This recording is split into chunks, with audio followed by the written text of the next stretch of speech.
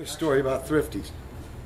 Well, they had these Teisco guitars on the little tree thing for eight bucks, and uh, see, I didn't know the bass had bigger string. You know, Arena Rock. I was telling you, first gigs T Rex, and it's you know he wasn't that big in the U.S., but uh, 3,500 people still. You know, I didn't know about clubs till punk.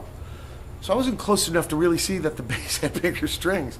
I could see in the pictures there was two, there was four tuners that had less strings.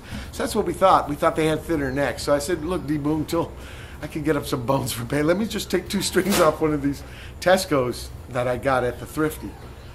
And uh, yeah, I'm pretty retarded. You know, music, music's more accessible these days. Young people know way more. You don't have to stumble through as much. And we didn't have older brothers. Nobody like guided us. We didn't know. Man, we didn't even know you had to tune. Did you see the We Jam Econo them where I talk about the tension of the strings? We thought some dudes liked them loose, some liked them tight. We thought if you played down on the corner, it sounded good that you were in tune.